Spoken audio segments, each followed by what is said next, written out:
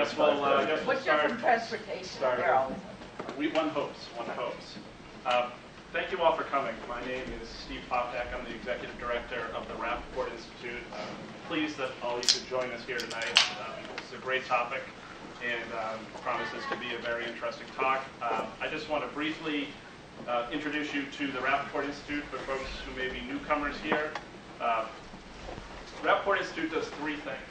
We do fellowships for graduate and PhD students, um, to give them the opportunity to work in the public sector um, here in Massachusetts and specifically in Greater Boston. We also um, do research projects where we commission, commission research on topics of interest to Greater Boston. And we have conversations like we're going to have here tonight on issues um, of importance to the region. And uh, we're grateful for all of you for coming and joining us. We're also grateful to Dana Levenson uh, for joining us. Dana is the Chief Financial Officer of MassDOT. So not only does he have oversight of the state's airports, highways, and transit systems, he, as well as the RMV, um, he also oversees MassDOT's real estate and asset development initiatives. Um, he's originally from Worcester, Previous to working as MassDOT CFO, he was the managing director and head of infrastructure banking for the Americas for the Royal Bank of Scotland. So he, he brings to us uh, experience both on the public and private side of transportation infrastructure. He was previous uh, to be previous to his time with RBS. He was the CFO for the city of Chicago. Um, and one of the many things he did in that job was uh, he was responsible for the long-term leases of both the Chicago Skyway and the Chicago downtown parking system. Previous to that, he held uh, managing directorships with Bank One and Bank of the Americas, um, spent more than 11 years with Kidder Peabody, and began his career in finance with Chemical Bank in New York. He holds an MBA from New York University and a bachelor's in European history from Brown University. And we are grateful um, for his presence here today. Uh, we look forward to his talk, and please join me in welcoming Mr. Levenson. Thank you. Steve, I appreciate the introduction, but there are two corrections. Uh, Number one, um, I'm responsible for the financial oversight. Financial, sorry. Not the operational oversight of uh, the RMV, the highway division, aeronautics, et cetera. Uh, And it is Worcester, not Worcester. Please, please. I- I may have left for 37 years, having returned about a year ago, or a little over, but I know how it it is. In any case, um, thank you all for being here tonight. Um, I'm going to try and, I'm going to talk about a lot of things, and it's probably going to be a little bit disjointed, and I apologize in advance for that. We have right now going on uh, in the Commonwealth um, a, uh, a discussion uh, with the state legislature uh, about transportation. Uh, Transportation in the Commonwealth trains, planes, and automobiles. Um, We are strapped for resources, like every other Department of Transportation in the country. We have massive challenges, like every other Department of Cha- of Transportation in the country. Uh, We happen to have the oldest uh, transit system in terms of the T, so therefore, we're number one. I can't talk about the rest of the country. Um, but it is a, it's a time when, based on the conversations that we've had with the public, with our customers, the legislators, this is the time for us to act. And the need is immense. We have a, as part of the program, we are putting forth a $13 billion, what we call Accelerated Transportation Program which speaks to the state of good repair. It speaks to expansion. I'd say the ratio between, uh, the ratio of state of good repair to expansion is about 75%, 25%. Take the 13 billion and do the math. We are pouring most of the money that we're asking for from the state legislature into the existing system. But I think as everybody knows, transportation infrastructure is capital intensive, meaning it costs a hell of a lot of money to run the trains, to make sure the highways are smooth, to make sure that the assets are running to the satisfaction of our customers, the users of the assets.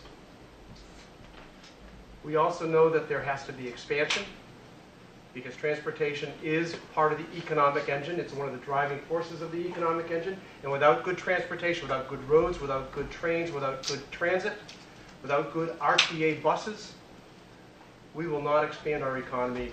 It will contract. We are facing a situation that is quite tough, not insurmountable. It will cost. It will cost everybody in this room.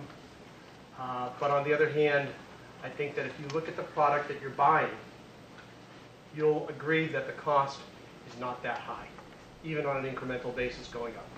But I'm not here to campaign for the way forward, uh, which we call the plan for transportation in the 21st century. What I'm also going to do, what I'm going to try and do is crosswalk, which is one of my favorite terms, the new buzzword of the day. I'm going to crosswalk what we are looking for in terms of fixing transportation in Massachusetts with innovative financing techniques. Innovative financing techniques being the way that we get money. Because there are all sorts of ways that we can try and get money to finance the assets that we need to repair, the assets that we need to build, the assets that we need to buy. And it's not just raising taxes, it's not just, it's not just, uh, uh, not just uh, uh, issuing municipal bonds. We go to the buzzwords. Do I just hit the four? I hope. What do you think? You want to funny? I might have um, gone to sleep, so it's just. Oh, sorry. Oh, okay. Okay, the buzzwords. You'll hear a lot about these tonight. I just used the word crosswalk. What we're trying to do at, at 10 Park Plaza in downtown Boston, is we're trying to crosswalk this plan to the budget that we're putting forth, the plan for 13 billion in accelerated transportation projects that we think are incredibly important to the Commonwealth. What's infrastructure? The conventional definition, I wrote this down, hard assets, expensive, that serve a country, city, or other area with fundamental facilities and/or systems. The market definition of infrastructure is a bit different. The market definition, out here we're talking about investors in infrastructures as well as users of infrastructure. The market definition of infrastructure are assets with high barriers to entry that are monopolistic or quasi-monopolistic, and they can be as well run by the private side as by the public side. Just keep that in mind as we talk about innovative financing techniques when it comes to infrastructure. Public-private partnerships. I love the alliteration. It just rolls off the tongue. And if you said, what's the definition of public-private partnership? I don't know. I mean, it's, it's, it's the term that has launched a thousand conferences and very few deals, at least here in the United States. Public-private partnerships, however, outside of this country are thriving. Whether you're talking about Canada, if you're talking about the UK, if you're talking about France, public-private partnerships can be a euphemism for privatization. And caveat, I am not here advocating mass privatization. I'm sure there may be some, some of you that think so, that's not the case. But there are situations where privatization can be a positive development when it comes to providing infrastructure assets for the use by its customers, its users, the people who pay for it, the taxpayers, and others. Uh, The last, I want to turn to the last page. It's a great quote by Mario Cuomo. It's not a government's obligation to provide the services, but to see that they are provided. So keep that in mind as we talk about infrastructure, assets, what can be done, what's different about today's market. And there's always been a market for infrastructure. At one time, it was just the state that paid for it, and the users said fine. But unfortunately, we've gotten to the point where states don't have nearly as much money as they did in the late 50s when the interstate system was put in across the country under Eisenhower. Uh, we don't spend as much on infrastructure as we used to. We don't spend as much on infrastructure as a percentage of GDP, as many, many other countries still continue to do so. Our roads and our bridges, the useful life that was intended when they were built, call it 1957, the year that I was born, they were built for roughly 65-year average uh, useful life. Guess where we are right now? We're at 65 years. Now, that doesn't mean that they all fall down on the 66th birthday. But if they haven't been maintained, as they should have been, because again, we're spending less on infrastructure as a percentage of GDP than we ever did, ever have in the past, we are having problems with our infrastructure. We have subway cars that are roughly 22 years old. The useful life of a subway car is about 21 years. We have not replaced them when we should. We have some that are much older. We have some that have been on, that, that have been on the track since uh, 1980. Uh, and, and actually some on the Green Line that are even older than that. And they look it. And we have problems. They have to be replaced. But how much does it cost to replace a subway car? I can tell you that a locomotive is around five and a half million dollars. We have 41 locomotives uh, in the system. We need 41 locomotives replaced very soon. Yesterday, thank you very much. That's exactly right. So you start adding all this stuff up. I assume that it now comes as no surprise that the price tag for both maintaining the system and the expansion projects, and we're talking, well, I'll get to the expansion in a, in a moment, is at least $13 billion. In fact, if you look at the State Transportation Infrastructure Plan, the infamous STIP, which tracks a large chunk of infrastructure projects, a lot of which get reimbursed by the federal government, and you take the STIP and you take all the other lists, if you will, of things that we would like to see done, some of which have to be done, it's probably around $28.5 billion. So what we're proposing now, and I'm getting back to the idea of the way forward, a 21st century transportation plan, which if it, I have four copies here, it's not, you can get on, on our website, but if you want to take a look, you'll see lots of numbers, lots of different assets that we're talking about. You take the, you take the transportation plan that we're looking at, $13 billion, plus 13 plus billion, plus the capacity that we have already programmed into the system. If we did nothing, we would be spending four and a half to five billion dollars on infrastructure anyways, based on how we do our business. Just the four and a half to five billion isn't, isn't anywhere, anywhere near enough. So we're looking at $20 billion worth of infrastructure projects that we plan on putting forward to the state legislature that we need to do. This isn't just what we'd like to do, the nice to haves, these are the need to haves. We think that this is a transformational time. The, the discussion that was about this time last year, when we were talking about service cuts and fare hikes, it was an ugly discussion. It was not fun for anybody. But if you consider what we were talking about at that time, which was around $160 million of an operating deficit at the T, that's nothing compared to the 13 billion at a minimum that we need to be putting to work in the Commonwealth of Massachusetts to fix our transportation assets and to maintain them correctly.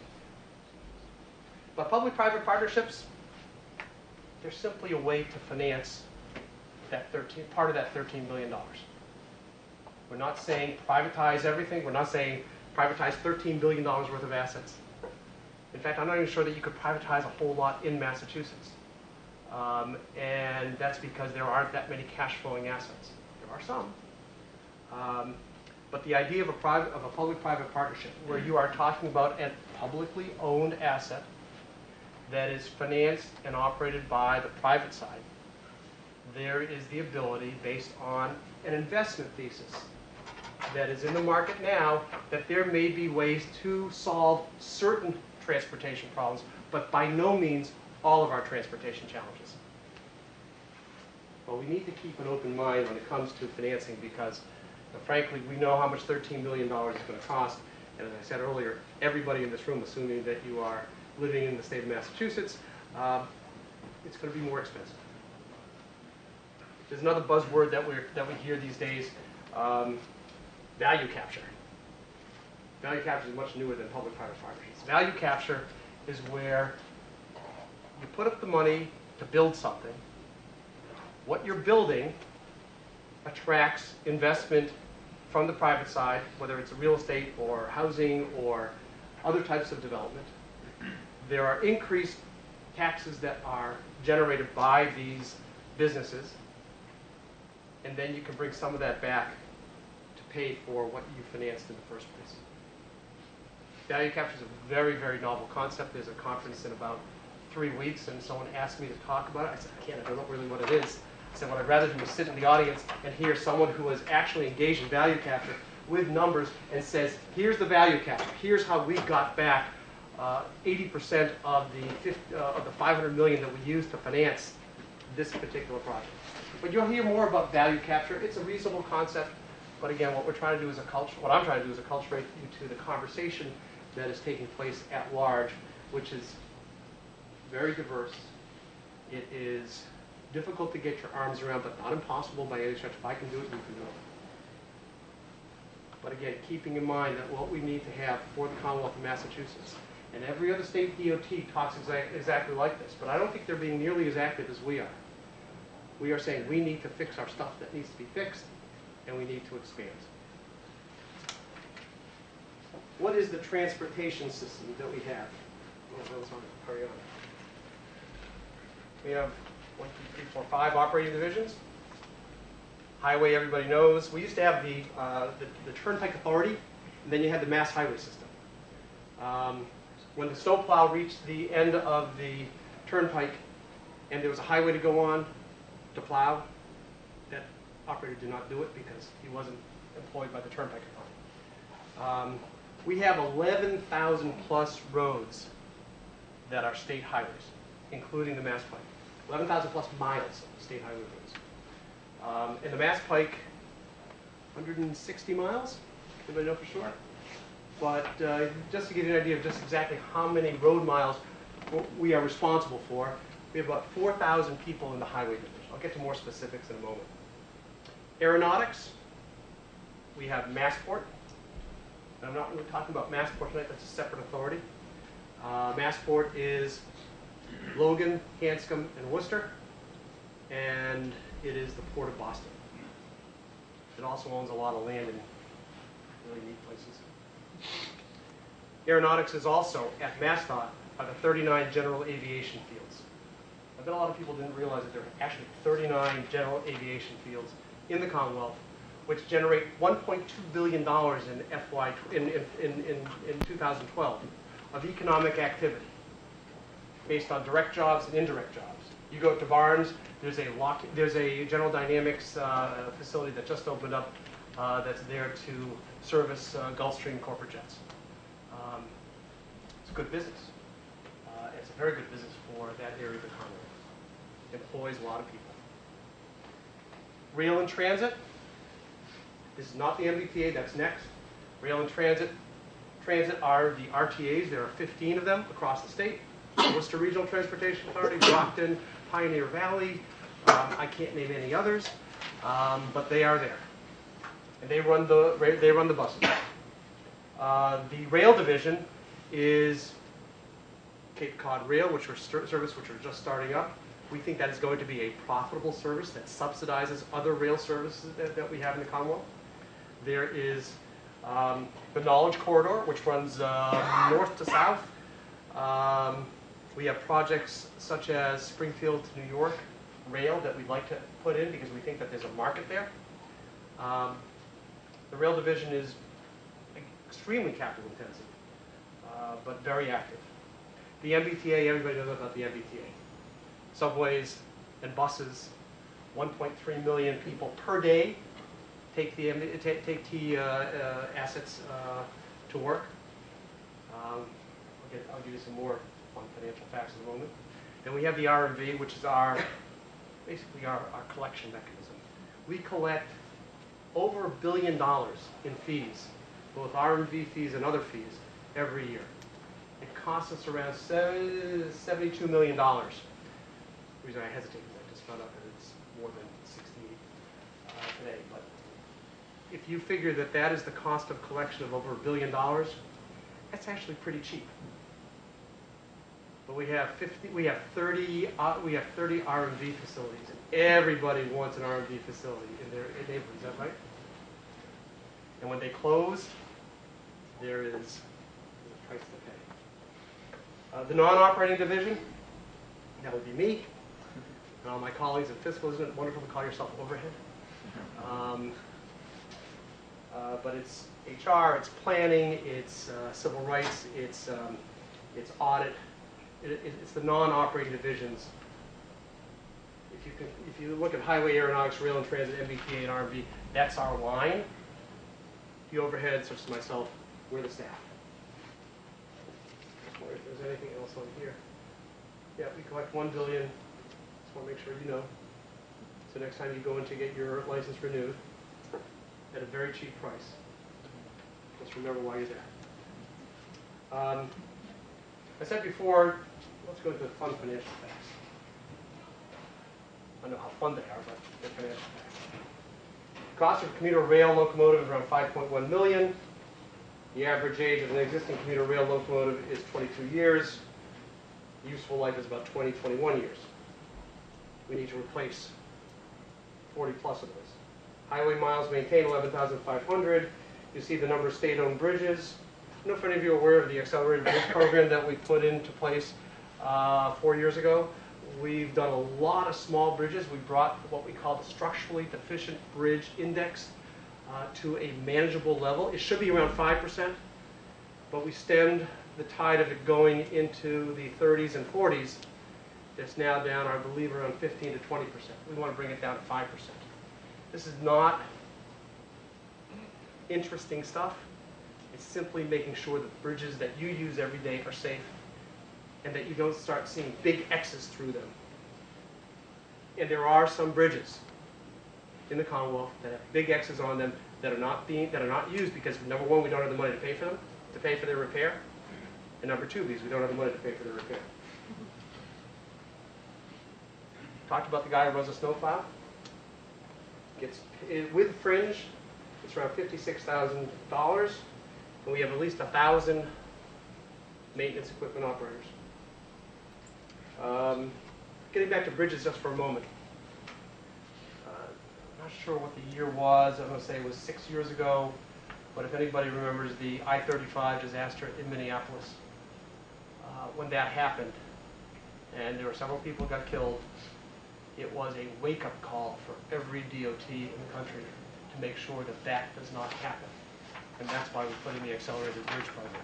But the accelerated bridge program still doesn't come close to fixing all the bridges that are structurally deficient. Structurally deficient, by the way, it's not, you can't, you shouldn't drive on them. You should, you can drive on them and you'll be fine. But you want to keep that index as low as possible, no more than 5%. It's like uh, the unemployment rate. Ideal unemployment allegedly is 5%. Because those are the people who just are never going to be looking for a job. They don't want to look for a job. We have our problems when unemployment is 8 or 9%. Uh, But structurally deficient bridge index, you want to keep it at 5%. You'll never get it down to 100 because as you fix one, another one's going to come, uh, going to go onto the list. I talked earlier about the number of uh, branches. Um, We have, it? up, we have 30, bran- yeah, we have 30 branches, down from 35 in 2008. The average RMV employee with fringe and benefits makes around $45,000. But the most interesting part of that about it is that you can see that our internet transactions now are just about equal to our branch visits. And what we're trying to do is bring down the wait time in the branch visits. We don't want you to go in and wait 20 minutes to see one. We should wait 10 minutes maybe. And we're having success at that, but it's not easy. But we want to drive as many people to the internet as possible. But always understanding that there's a, a- digital divide out there, and you're never going to be able to get away from the physical branches. Back to the aeronautics division, I found it amazing they maintain the safety and standards of 39 airports, and we have 10 people in the division. They're very busy people. The three expansion projects I talked about, just so you have an idea of what we're looking at, 3.85 billion. for South Coast Rail South Station expansion and the Green Line extension, keeping in mind that on South Station, we don't know how much money we can get if we have an overbuild there from the private side.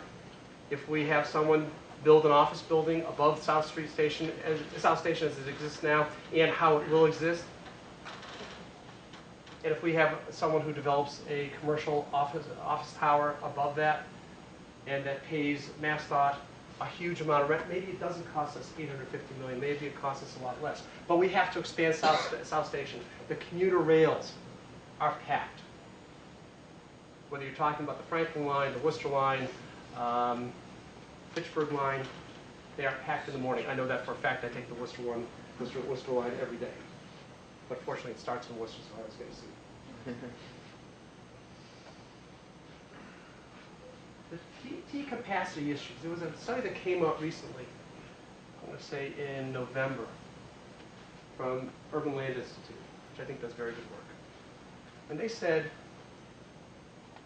watch out, T, because Boston is one of the few cities that's growing, that your capacity is going to be strained.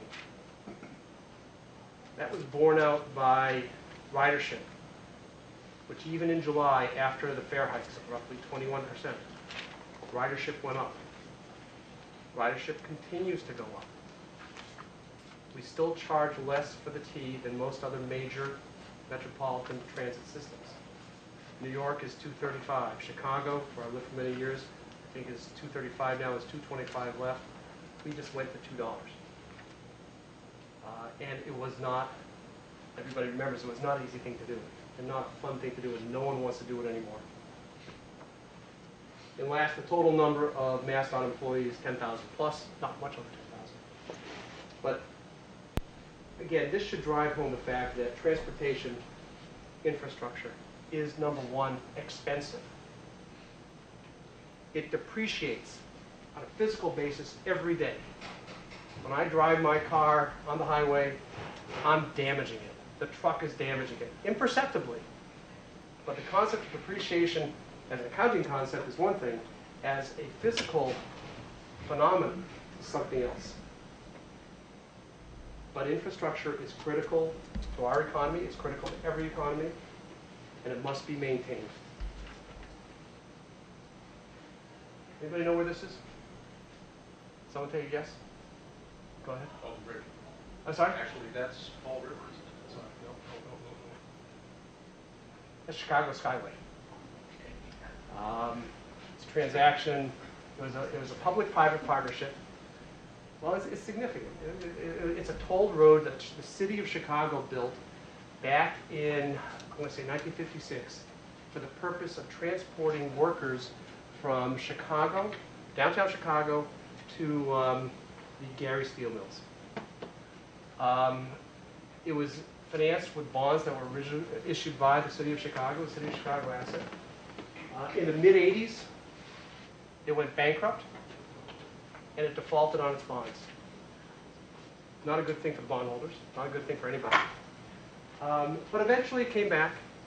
The city made a decision in, let's say, 1996, 1997, that the Skyway had to be fixed up, it had to be essentially rebuilt, and it was. In around 2002, an idea came to the city of Chicago that maybe the city should consider, to- uh, consi- consider leasing the Chicago Skyway. Eventually, the city did. And in February 2005, a private entity, Macquarie out of Australia, and Cintra out of Spain, which runs the largest toll road operator in the world, paid the city of Chicago $1.8 billion, $1.83 billion for the right to use the Skyway, to operate the Skyway for the next 99 years, um, thereby relieving the city of Chicago of any responsibility of running that facility. Um, There's still $500 million left out of the proceeds. A lot of the other proceeds were used to um, pay down debt, pay down the debt of the Skyway, which at the time was around $450 million. Uh, Mayor Daley, at the time, um, also wanted to make sure that there was a benefit to the people of Chicago. And so he did something that was antithetical to municipal finance, which was use the proceeds from the sale or lease of a capital asset for your operating budget. Uh, But you don't say no to Mayor Daley. And so he took $100 million, roughly 5% of the deal. They said, we're going to plow $100 million into 20 uh, social services programs for five years, million dollars each. Uh, Meals on Wheels, ex-offender programs, things like that. Um, Frankly, brilliant thing to do. I think he would have gotten the aldermen to vote 100% for the deal because they're looking at 1.8 billion, but when they saw that 100 million was going toward uh, programs that they would like to see funded, uh, they were even more enthusiastic. But this is the first privatization of a, of an, of a toll road, toll road asset in North America ever. The only one prior to that being Highway 407 in Toronto. Okay. But you know why these are significant? Lower left, Luis Munoz Airport in Puerto Rico. Just did a 75-year lease. The government has leased it for 75 years. I can't quite remember who it's to, but it was for just around $2 billion. By the way, getting back to the Skyway for, for a moment, there is no financial obligation on the part of the city of Chicago to maintaining, maintain any aspect of the Skyway. It is entirely the obligation of the lessor. And at the end of 99 years, the lessor has to, lessee has to return it to the city of Chicago in the exact same condition as when it was leased in 2005. And it was leased in pristine condition. If that means that the lessee has to rebuild that asset three times, it's at that person's responsibility and not the city of Chicago's. Just wanted to point that out. Um, Indiana Toll Road. In June of 2006, Governor Mitch Daniels saw what Chicago had done with the Skyway. He leased the Indiana Toll Road, which is I-80 going across the top part of the state, around 80 miles, uh, for $3.8 billion. Took the proceeds of $3.8 billion, put it in the bank. They had a little bit of an advertising campaign. They said, we're making $5,000 a minute. Interest rates were a little bit higher than they are now. Uh, on this money, and we are plowing it back into transportation assets all over the state. And if you Google Indiana Toll Road, Governor Mitch Daniels, transportation, you'll see exactly how much they are spending, which is money that they can't get from the federal government, because the federal government doesn't have it, to fix transportation assets. Anybody recognize this one? Just came into the news a couple of days ago. Midway Airport, uh, downtown Chicago. Deal failed in in 2008 because the buyer couldn't come up with a whole purchase price. Ended up letting Chicago have 126 million of earnest money because they couldn't close. Chicago shed a tear. But the deal, this, is- this, is- the deal took place, it was late 2007, closed in 2008, It couldn't close.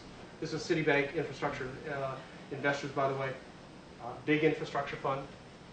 Uh, a lot of state and local pension money that's invested with uh, uh, Citibank. Um, They couldn't buy it.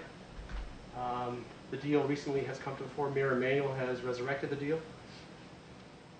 If it works along the same lines as was talked about in 2008, it will generate roughly $1.3 billion for the city of Chicago that it has committed to use for infrastructure and/or shoring up pension funds, which are woefully underfunded.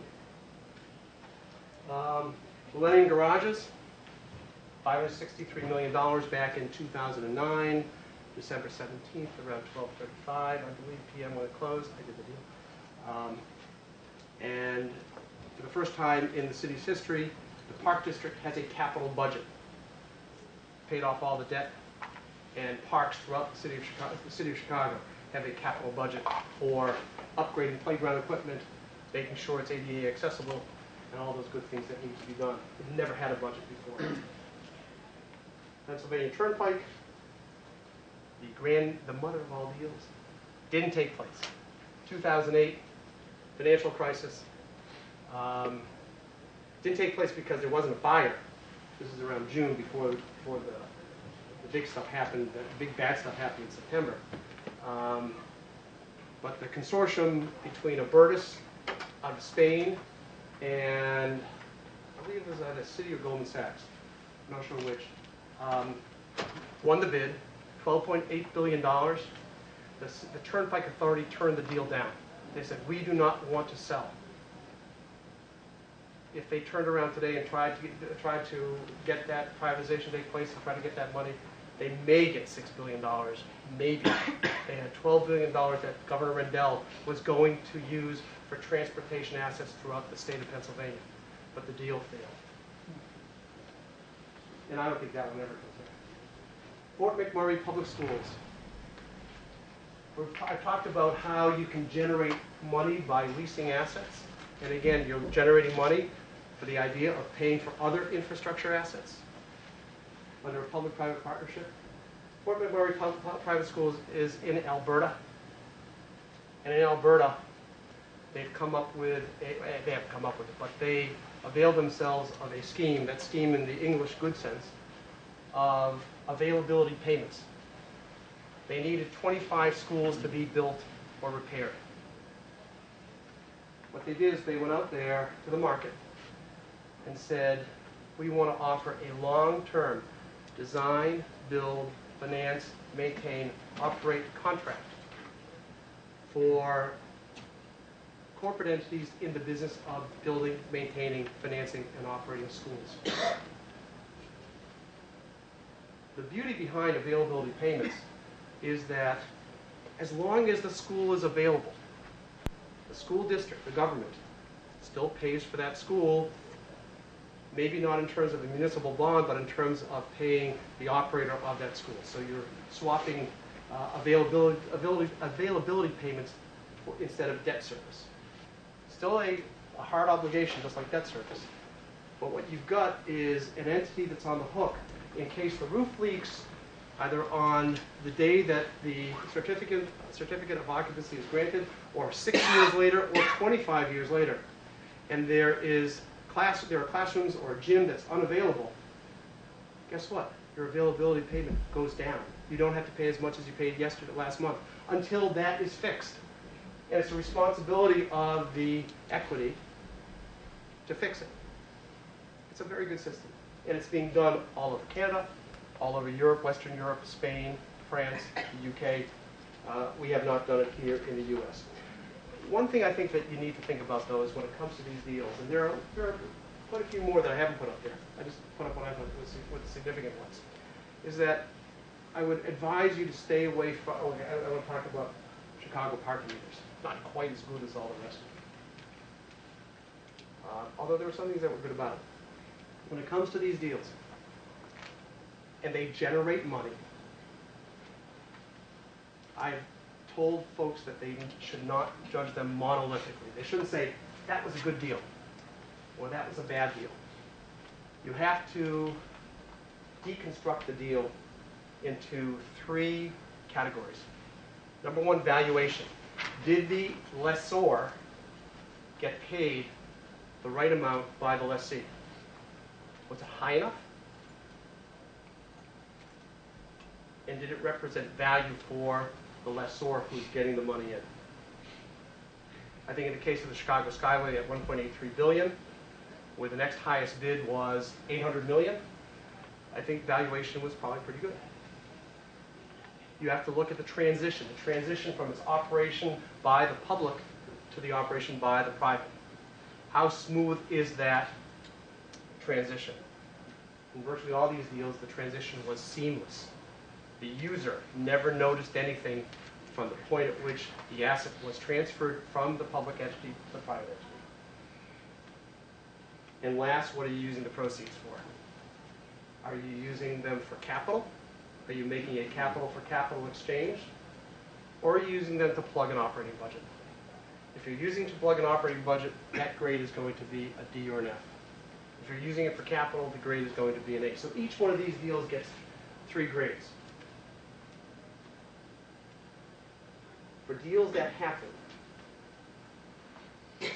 the Chicago garage is 9,163 parking spaces, 563 million. Someone can check my math, but I'm pretty sure that's around $61,000 per space for 75 years that uh, Chicago got in. The Parkers didn't notice anything other than the price going up. Um, Now that's, I know that, okay, I'll, I'll- get to that in a moment. Um, However, the use of proceeds, again, to establish capital budgets for city parks throughout the city was a good thing. Let's get back to the raising of the prices. When that deal came about, I was at a breakfast. It had somehow gotten into the papers that we were thinking about, yes, I'll use the word privatizing, uh, Midway Airport um, and the uh, downtown parking garages that the city owned. And there was a guy sitting across from me, and he said, why are you privatizing um, Millennium Park Garage? I love Millennium Park Garage. I said, tell me, why do you love Millennium Park Garage? I drive in from the suburbs every day. This garage is the closest one to the office. There are always spaces that are available, and it's the cheapest garage in the neighborhood. I said, thank you very much. Just gave me every single reason why this is exactly what we should be doing. Keeping in mind that the city of Chicago was responsible for operating that garage. In fact, it came under my purview. I don't have a clue as to how to operate a garage. I, have, I know how to count the money that comes in, but I don't know how to operate it. I remember my mother and brother were visiting me uh, in the summer of 2000 and 2005. And we were driving from our house in downtown Chicago, driving south on Lakeshore Drive to go to a concert at Millennium Park. And we're driving down Lakeshore Drive, we're getting closer to the park, I can see a lot of people streaming in, we should be among them. I'm looking for the garage. There is no sign for the garage. And I'm getting very frustrated. Of course, my brother in the back seat says, well, Mr. Big Time CFO, can't find the garage, there's no It was a lovely time. In any case. Chicago parking meters, terrible transition, bad use of proceeds. Um, Valuation was pretty good.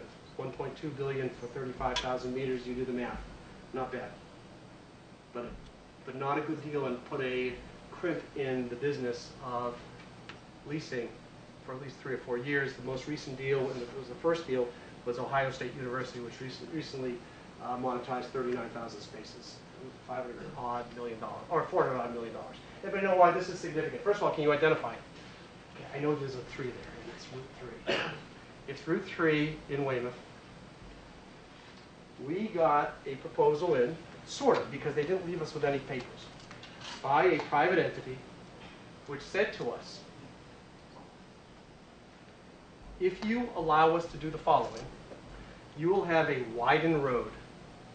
And I understand that Route 3, I don't live in that neighborhood, but I understand that Route 3, Route 3 is jam-packed in the morning and the evening.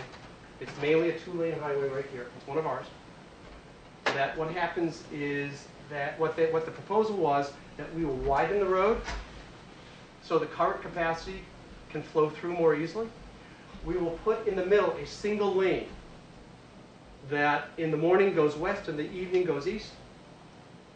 Always at 65, all 55 miles an hour, whatever mile an hour it, it's supposed to. It's a managed lane. But it will cost. It will cost the driver to go into that managed lane. He can still take the two-hour lanes, the four-hour lanes, but if he wants to get home to that baseball game more quickly because it happens to be his son playing in, on the team, he can either drive for free, it's going to take him the same amount of time, maybe a little shorter, or you can go in that 65 mile an hour lane for $6 and get there faster. We are, a service is being supplied, but not by the government. But we have a dilemma here. Because the question is, okay, to the private entity. And by the way, this is not on our big list of things that we have to do. So this doesn't even rise to the occasion of the $13 billion plan. But what, what this does, it supplies a service at a price.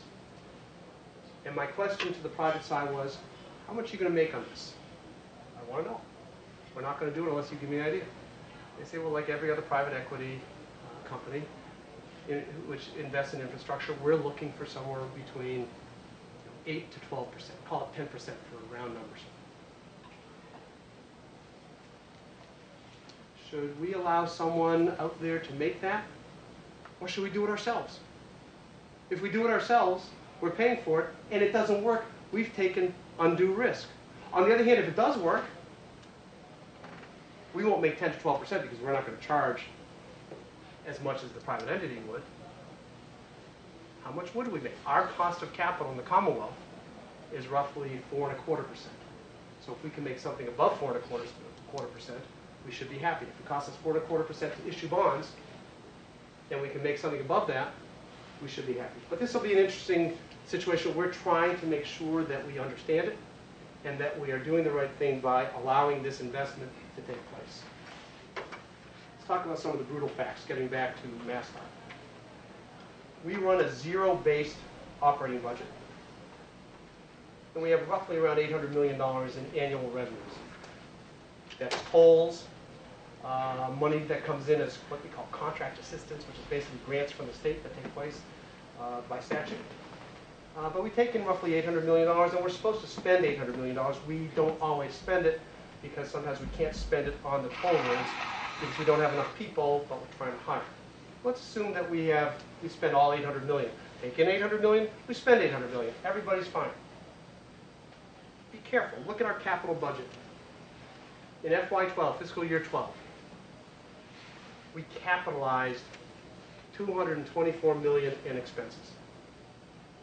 So in other words, we took rents, salaries, utility payments, all sorts of stuff that you normally, if you were a household, pay out of your, uh, out of your, out of your salary, your operating budget. Instead, we charge them to the MasterCard. And we charge them at roughly four and a quarter percent, which is the weighted average cost of capital. So we didn't pay 224 million in salaries. We will end up paying somewhere over 398 million in salaries, salaries, rents. Basically 1.78 times. Certainly, if you were going to finance hard assets, you go out and finance your car, that's going to give you your return. It's going to get you to work. You finance asphalt, you finance a guardrail, you finance subway trains. There's nothing wrong with that. In fact, that's the right way to pay for assets because they have long lives. But paying for someone's salary on the credit card is wrong because that 200, that 398 million dollars is eventually going to make its way into a bond that is the obligation of the state. And oh, by the way, we have among the highest level of indebtedness of many states. Not that we can't afford it, we happen to be a wealthy state. We, gener- we, we, we generate a ton of money in the state, but we happen to have a high level per capita of bonded debt in the Commonwealth of Massachusetts. The irony is we're actually looking to increase that, but we think that we're doing the right thing. In any case, that gives you a little bit of background, and I underscored the obvious. We have massive capital needs. Talk about primarily about the highways. The brutal facts of the T. The T must run a balanced budget, Sergeant Lieutenant. In FY13, revenues are expected to be $1.8 billion. Not bad, pretty big number. We serve 1.3 million people per day. And as per the ULI study, the ridership is growing, which means with the current capacity that we have, trains will be later. You'll be waiting longer. Um, it'll be more crowded. This is not solvable unless you start throwing money at the system in a way that we should, that's a way that's responsible. The T's required debt service on the big, big debt is 120 million. It happens to grow exponentially over the next five years, the way it was structured. And whether you think that was right or wrong, when you can't possibly think it was right, it is a fact, and we can't repudiate debt. It's not what we do. Not what anybody does. If you take the debt on, you gotta pay it. But what we're trying to do is give the T money so it can pay that debt, because otherwise, it's a break-even operation, which is pretty impressive. For the oldest operation in the country, the T is actually break-even. You look like you're doubting me, I'll prove it to you. In any case, MassDOT, uh, the T, I should have put T. I did. T has massive capital needs. So what do you do? You can issue municipal bonds, and we're going to. I don't know if we'll do all 13 billion in municipal bonds, but we might. We can layer into the mix the leasing of existing, which we call, which are brownfield. That has nothing to do with environmental impact or brownfield is a definition in the infrastructure business of existing assets. We could transfer the risk of operating new assets, new being greenfield assets, under the availability payment scheme.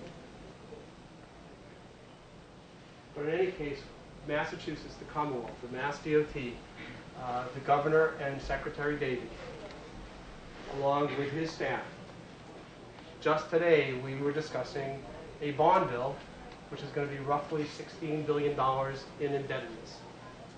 But if we are careful, we take our lessons from the big dig, and Secretary Davey is fond of saying, this is the anti-big dig capital budget. Because we know how much things cost, we have controls, we are much better at putting assets on the books and in operation than we ever were before. Look at Accelerated Bridge Program, which has been hailed nationwide as a model across the country eh, for bridge repair, and it's not inconsiderable at $3 billion. We are putting forth the Accelerated Transportation Plan, which you're welcome to take uh, a copy of. We only have four, but it's on our website. It is backed up by this front page of a model, which again is on our website. The front page of the model, which looks at all transportation assets throughout the Commonwealth, how they operate on an annual basis, down to how much we pay the motorman, how much we pay the toll booth operator, what will happen if we go all electronic tolling, et cetera, et cetera. Um, It's backed up by roughly 75 worksheets. Um, If we had built a model like that way back when I was first starting, out- starting out out in banking, I'd hit the recalculate button, I'd come back the next day and maybe it was done. This day and age takes a second, so you find out how much stuff costs. But don't think for a second that there is not the desire to finance our operations correctly. We were talking about um, uh, capitalizing expenses. Giving money to the T because it needs it to cover the cost of the big, big debt. And then there's the 13 plus billion accelerated transportation plan, which speaks to 75% of that money going to the state of good repair, which we think is incredibly important. 25% of that money going to expansion projects, the three largest of which are South Coast Rail, the Green Line extension, which, oh, by the way, we have to do as a matter of law, and South Station expansion. South Station expansion, so we have more commuter rail, because that's what the people want. We went out to 19 communities through December 19th, starting in October. And we have, again, this is all documented. You can see what everybody's saying. We want more buses. And we want more buses in this particular area because we need to go to our jobs. Hospitals want more buses. You saw what happened during the blizzard.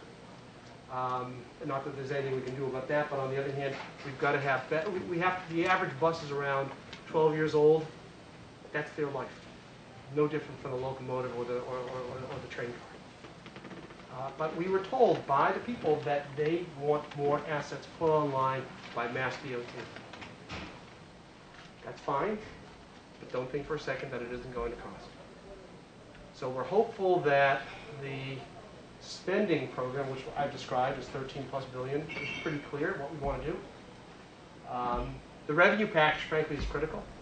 And there you may have heard that the governor's plan is to increase income taxes by a percent, drop the sales tax by a percent, I think, if not more, and have the sales tax, all the money that goes into the sales tax, go into an infrastructure fund.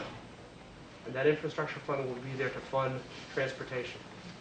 We're very much in favor of that, especially given the progressive nature of the sales tax. In every way we stress test it, we see more money coming in for infrastructure, because that's what we need. So that's the story about Commonwealth of Massachusetts. I hope I've made it clear. I apologize if I was a little bit disjointed in terms of how it was laid out for you. If you have any questions, Steve, how how do you want to do this? Yeah, yes. Um, Again, thank you very much. I That's appreciate it. We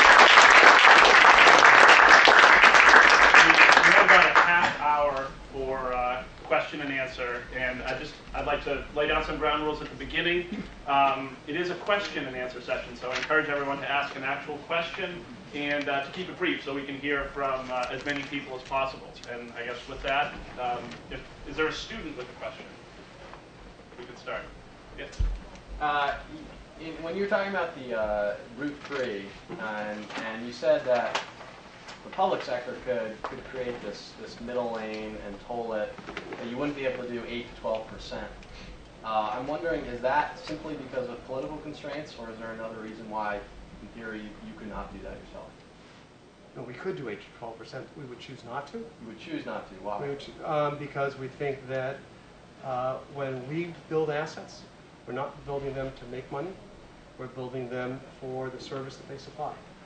Um, If we did, were able to charge eight to twelve percent, um, because say, for instance, that you've done your market research, you find out that this project is universally liked by all the potential drivers, and that potential driver is willing to pay six dollars, and that six dollars equates to ten percent return, um, we might think about it, but the question is, what do we do with that return?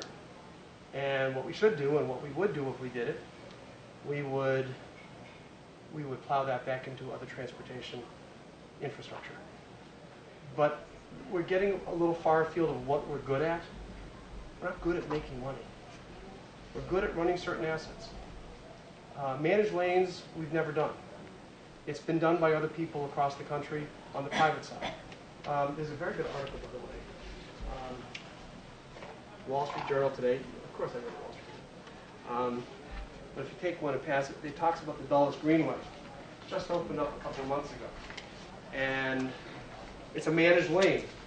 The cynics call it a Lexus lane, done by the private side. Incredibly successful. Google it, you'll find out that there are no critics, or very few. But um, it's a good question. I think that the bigger, the bigger question is, what is the risk that we are taking? Because if we are shifting the risk to the private side, we bear none of the risk if no one decides, if their market research is not, is wrong and they don't get the ridership. And they're not making money, they'll lose money. The Indiana Toll Road is losing money for the buyers back in 2006. Chicago Skyway is not making anywhere nearly as much money. So this is the risk that the private sector takes. We don't want to take that kind of risk. Tom? Well, I'd like to know why the state keeps blaming the big dig for the T's debt problems, because when the state was building the big dig, it ran out of ways to pay for it. Split, or turned it over to the Turnpike. Turnpike borrowed two billion dollars, and then, of course, they were merged. So this seems to me to be the state's and the, and the DOT's debt and taxpayers' debt, not necessarily the T's. The T's had long money problems going back years and years, capital problems, the revenues have never come close to paying for the operation. So I, I just don't understand why it's all put on the big dig unless that's just an easy way to, something, easy. Um, way to blame. There, there were transit commitments that, that were made by the big dig, that, by the, by, by the transit, by, by the T, that the T had to finance, so it's, it and there were transit commitments that were made because of the big dig. So there are things that the T agreed to do and to finance because of the big dig. So it's more related than you might think. Um, and it happens to result in roughly $120 million per year, 120, $140 million per year of debt service that the T is, um, that the T is, is obligated to pay. First of all, we're not going to repudiate debt. Could you transfer it over to the state? Yeah, that's a possibility. But what the plan that we're looking at essentially does that because the state, we want the state to come up with more money to give to the T to cover the debt that needs to be paid, whether it's by the T or whatever entity happens to be uh, the issuer, in fact. So it's not, uh, there- were transit commitments, and we can identify every single one of them. The T did issue debt for those transit commitments that were made as part of the agreement to do the big dig. So it's, it's- it's murky, but not a hundred percent. You get this gentleman in Yeah, second. this, this is a follow-up to the same question. Uh, every time I try to look at any transportation budget, I have great difficulty because we've got a tradition in this country of governments operating on a cash flow basis instead of using standard accounting and having a balance sheet, a cash flow statement, and an operating statement. And like when I think about uh, being a buyer of the T in a, um, you know, one of these you know, privatization activities, I'm very interested in whether or not the operating system would show a profit on an annual basis if we correctly accounted for uh, the capital assets, the balance sheet. You know, I would assume right now, since the assets are over fully depreciated, uh, if we were using correct commercial accounting, then we'd be running a profit on the annual operating statement, but a huge negative cash flow, since we have to finance the problems created by an aging infrastructure. But because the government won't use normal, you know, accounting any business would use, the stuff is opaque. It's confused by political history. Of, to fix the big dig, they took this money from here and stuck it in there, and this got merged with that. Mm-hmm. So if I were coming in as chief operating officer of the thing, the first thing I would do is clean up the debris in the accounting and be able to look at a P&L for the operation of real operations. And the T is natural. To the best of my knowledge, the T is got a monopoly on a valuable service with a lot of infrastructure, and the only funnies in the pricing and the operations are the bus routes that are kept for political reasons and the fare structure. But other than that, you've got a real business. Um, So why don't you use uh, normal accounting? Uh, I'd be glad to show you our latest financials. We're going to go to the Finance and Audit Committee of the Board next week and show the first, uh, first half. And I do believe that we, and and based on my experience in accounting for, with financial statements, we now, I don't know how it was done in the past, but we are using standard accounting methodologies. We do have an income statement, statement of expense, of revenues and expenses. It is extremely clear. Um, I would also tell you that in terms of the business that we operate, it will never be privatized. The reason why it will never be privatized is because it can never make money. The capital costs are too high. Unless you're talking about free capital, which no one has access to unless you're the federal government, uh, that uh, they are, that the business is not a good business. It supplies a service. It charges among the lowest rates in the country for a major uh, transit authority. Um, And I would challenge virtually everything that you've said in terms of the business being fundamentally sound. It is not fundamentally sound. That's the problem. But it also avoids the problem of privatization. There's no private entity that will ever buy an organization that is either break even or losing money unless they can somehow cut costs and raise fares. And we know how difficult that is. So I'm not sure that I agree with you. But I'm glad to go over the accounting statements if you want to see it. We Ma'am?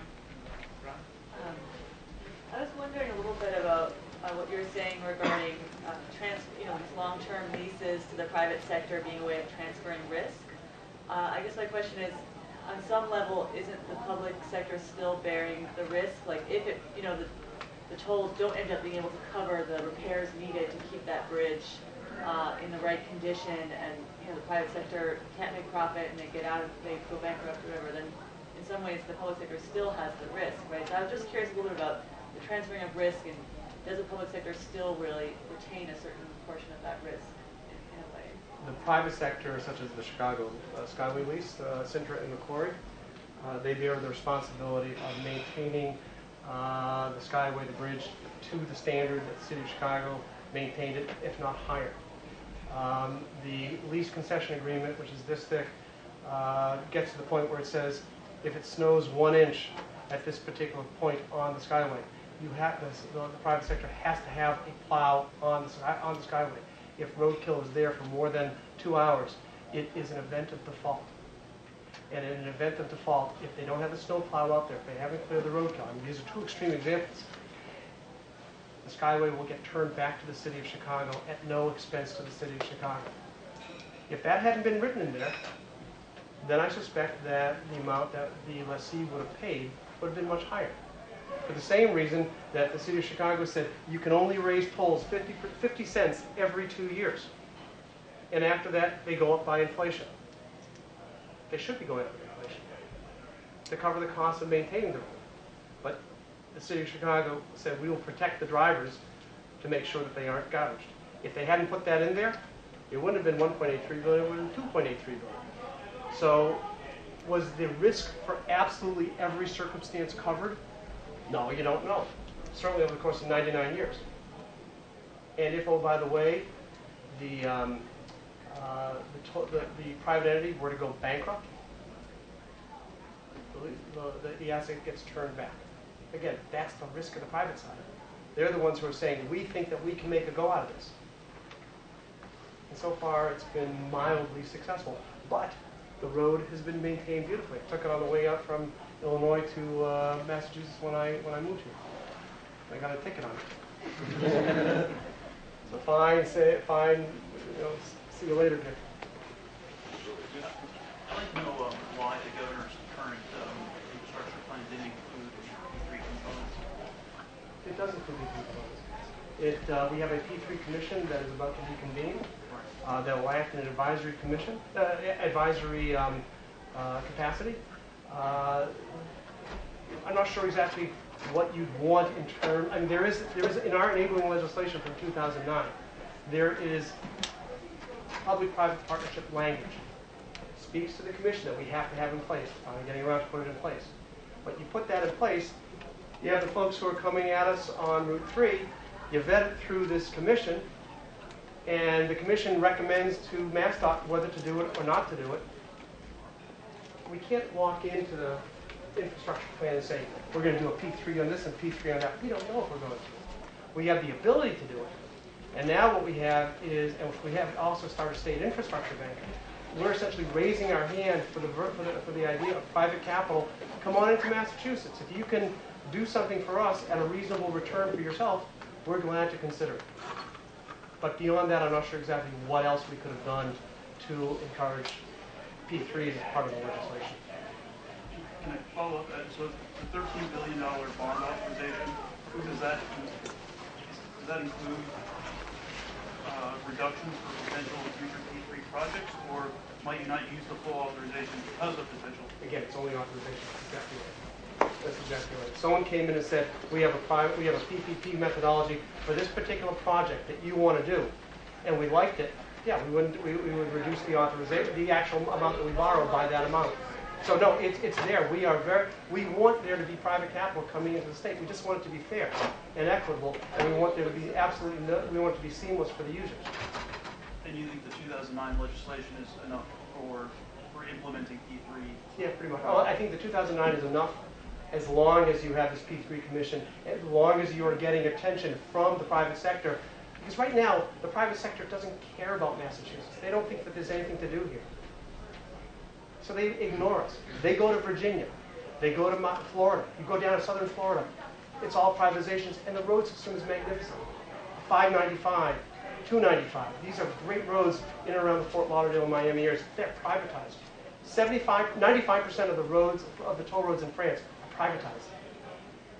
I'm not advocating, again, for the cameras, we are not advocating wholesale privatizations. We're just saying that as a way to finance part of the 13 billion, as opposed to issuing debt, which we're all gonna end up paying for, if the private side can do it, why not at least consider it? That's what we're, uh, that's all we're saying. You've been waiting. Yeah, you, um, sorry, you asked a question, you responded to a question on the T finances, and it made me remember the 1999 deal in the legislature to basically turn over a significant fraction of the state income, uh, sales tax, excuse me, to the T, which was supposed to solve the problem. Of course, we know what happened following that. There was a dot-com bust, you know, state sales tax revenues dipped, and we saw a similar dip in 2007, 2008. So how does the current plan deal with that situation? That- that- These kinds of cycles in the sales tax are going to be pretty difficult. Right.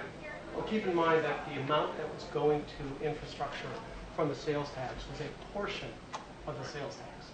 There's a big difference between a portion of the sales tax and how much that generates, as opposed to the entire sales tax. So what we're looking at here is a plan that says we take the entire sales tax, lower the rate by a percent, and put all that money that we think will accumulate in almost any economic cycle. Granted, we can't be 100% sure because we certainly were proven wrong in 2008 and in the early part of the uh, 2000s when you had the dot-com bust.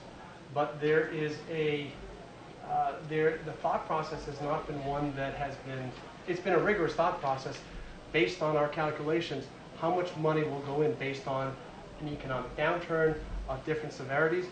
And we put in As long as we're putting in the, I, we think that there's going to be excess money based on infrastructure needs, although that's kind of far-fetched, given what the size of our infrastructure needs if gonna do everything.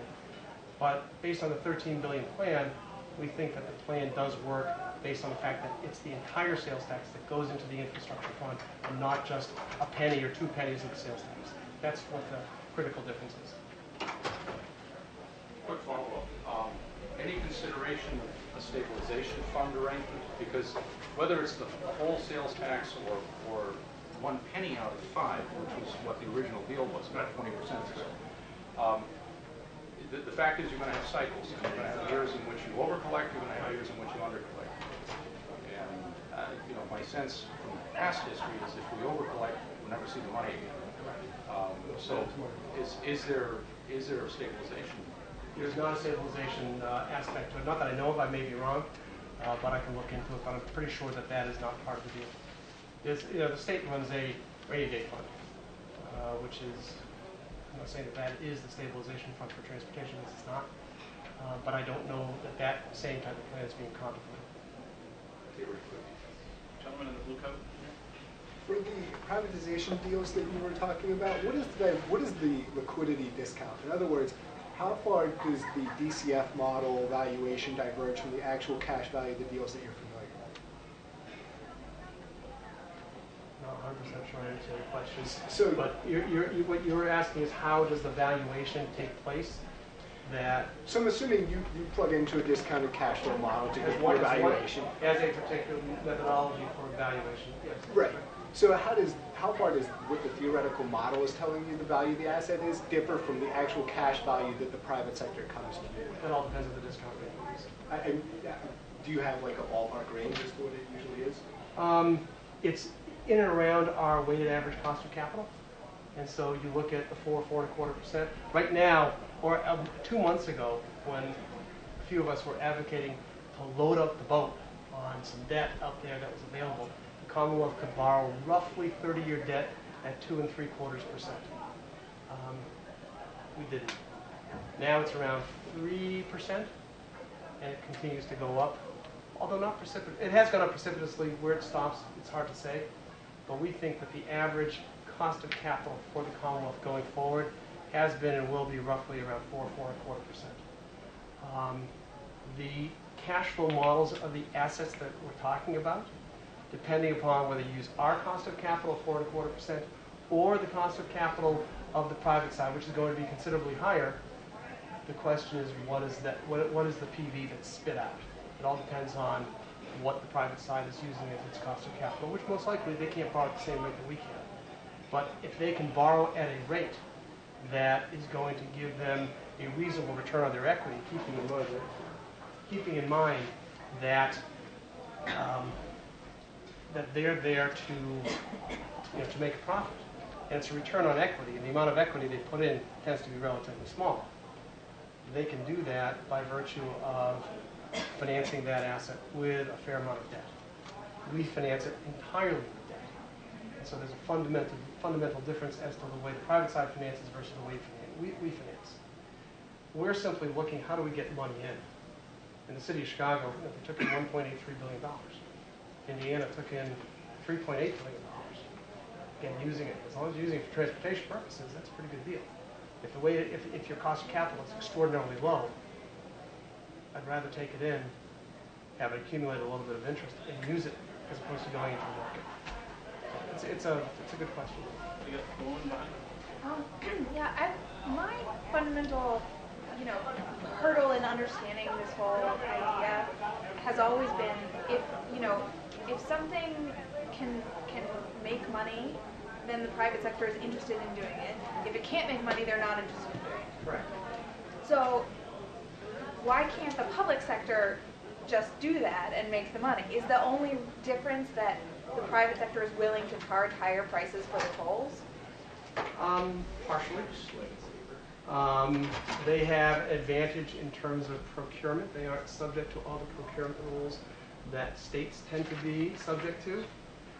When the city of Chicago uh, was the owner and operator of the garages below Millennium Park, there was a manager of the garages. he was operating at roughly 72, 73% of capacity. I couldn't fire him. On the other hand, I couldn't find, if I found someone who, was, who would run them at 99% of capacity, I'm not going to pay him a bonus. We don't do that. You're talking about core competencies of things we do well and things we don't do well. You can also talk about what markets are out there. Now, Midway Airport, Chicago has a fabulous Department of Aeronautics, just like we have a great Massport. We run a very good airport here. Chicago runs very good airports there. But someone's willing to pay him 2.525 billion for that airport. Mayor Emanuel has no place to turn to for capital, for infrastructure. He has no capacity to issue any debt. And he has a deal that's looking at him in the face that says, here's $1.3 billion. Use it for infrastructure to fix up viaducts, to fix up roads throughout the city of Chicago. That's an irresistible notion. And will the will they make money at, at, at Midway Airport? I'm sure they will. Maybe not as much as they're saying they will. We've seen that happen in Indiana. They're not making as much money as they thought they would. But that's the risk that the private side is willing to take. It's not the risk that a public entity should take. So, and every every circumstance is different. I hope that that explains it. So the public sector is still essentially, you know, giving up a certain amount of opportunity in, in exchange for having less risk, in exchange for, So well, just just look look at the Chicago parking meters deal. $1.1 billion for 33,000 parking meters. Uh, The aldermen looked at the deal. They said yes, not a 100%, but 47 out of 50. And whether the deal turned out good or bad, can you imagine the challenge the mayor would have had to go up to every single alderman and say, in your ward, in 37, would you please, we want to raise, we want to raise your, um, uh, your parking fees. Oh, no, you're not going to do that. Go to 38. Go to 36. The only way you could have done it was if you did the whole city. There were mistakes that were made. Uh, it's unfortunate. But uh, in both the city and the lessor, lessee, Morgan Stanley uh, Infrastructure Fund has paid a big price. Sorry, we're going to have to go, probably have two more questions here, and then we're going to have to end it, but uh, I don't know other engagements. um, People okay. people can be around um, after this, but I think we should try to formally end on time. Perhaps uh, this gentleman on the aisle, and then the gentleman behind him with the second question. Really briefly, what's the rationale for um, signing these contracts for such long periods? Um, it actually Particularly the Chicago contracts. Chicago, and Chicago Yeah, contracts the have been Skyway and the... parking garage, which I believe in 99 years. You have the Indiana toll road lease, which is 75 years. It is better to have a shorter lease for every possible reason than a longer. Let's, let's start off with that as a notion. However, there is an accounting rule that says that if you are going to depreciate an asset that you happen to buy, the lease term has to equate to the useful remaining economic life. So if the useful, remaining useful economic life is 65 years, that lease has to be at least 65, has to be 65 years for you as the lessee now to depreciate that asset, which you as the lessee will want to do so as to have, be in the most advantageous tax position. It's a very, very clear and simple rule. Why does it go to 99-year leases? Because the people who were bidding on the Chicago lease, there were some that says, we'll pay you a lot more money if you do a 99-year lease as opposed to a 65-year lease.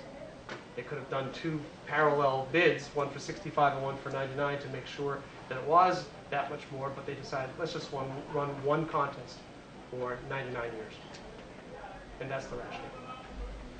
Okay, no pressure, this is the last question. Um, I was under the impression that tonight it was going to be creative ideas, meaning multiple ideas. So I understand this PPP idea. Is there another one? That's it. We're looking for them. Oh, so If we you have have them, some? if you have some, please tell us. We would Okay. love to hear about them. We are, we do not have, not only do we have not have an exclusive on good ideas, we don't have a lot of them. But there are some things that just aren't new under the sun. Assets cost money. They are expensive. If you want good assets, that serve your customers and serve the users, they have to be paid for. How they get paid for? There are different methodologies, but there are not that many. And while I'd love to tell you that there is a magic bullet, a silver bullet, it doesn't exist. On the other hand, PPPs didn't exist to the degree that they do now. They didn't exist there 20 years ago. Um, there have been some interesting transactions that have been done, but if you're looking for the most fabulously creative new idea, we don't have them. If you have them, we want to hear about it. Don't be bashful. The feds to pay for it. You just said there goes to capital zero. And on that note, we will, uh, we will close for this evening. Thank you all for coming, and please remain.